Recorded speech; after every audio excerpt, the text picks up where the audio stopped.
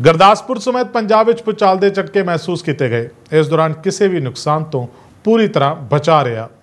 ਗੁਰਦਾਸਪੁਰ ਸਮੇਤ ਪੰਜਾਬ ਵਿੱਚ ਭੂਚਾਲ ਦੇ ਝਟਕਿਆਂ ਦੌਰਾਨ ਕਿਸੇ ਵੀ ਨੁਕਸਾਨ ਤੋਂ ਪੂਰੀ ਤਰ੍ਹਾਂ ਨਾਲ ਬਚਾ ਰਿਹਾ।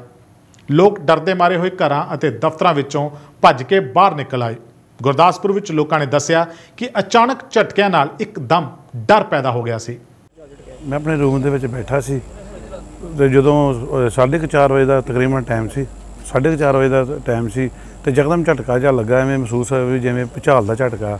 ਤੇ ਮੈਂ ਛੇਤੀ ਨਾਲ ਬਾਹਰ ਆਇਆ ਤੇ ਬਾਹਰ ਵੀ ਅੱਗੇ ਬਾਹਰ ਲੋਕ ਕਾਫੀ ਹਲਚਲ ਹੋ ਰਹੀ ਸੀ ਵੀ ਭੁਚਾਲ ਆ ਭੁਚਾਲ ਆ ਤੇ ਉਂਝ ਤੇ ਨੁਕਸਾਨ ਤੇ ਨਹੀਂ ਕੋਈ ਫਿਲਹਾਲ ਹੋਇਆ ਇਹਦੇ ਵਿੱਚ ਤੇ ਹੈ ਭੁਚਾਲ। 4:32 ਮਿੰਟ ਤੇ ਦੇਖਿਆ ਗਿਆ ਕਿ ਇਸ ਦਫ਼ਤਰ 'ਚ ਬੈਠੇ ਸੀ, ਕੰਮ ਕਰ ਰਹੇ ਸੀ।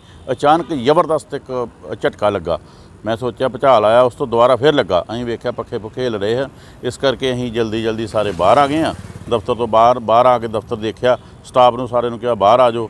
ਲੋਕ ਵੀ ਸਾਰੇ ਬਾਹਰ ਆ ਰਹੇ ਸਨ, ਲੋਕਾਂ 'ਚ ਘਬਰਾਹਟ ਮਹਿਸੂਸ ਕੀਤੀ ਜਾ ਰਹੀ ਸੀ। ਇਸ ਕਰਕੇ ਕਾਫੀ ਜਿਹੜਾ ਉਹ ਮਾਤਰਾ ਵਿੱਚ ਭੁਚਾਲ ਦੋ ਵਾਰੀ ਆਇਆ ਲਗਭਗ। ਗੁਰਦਾਸਪੁਰ ਤੋਂ ਰਿਸ਼ਪਾਲ ਸਿੰਘ ਦੀ ਰਿਪੋਰਟ।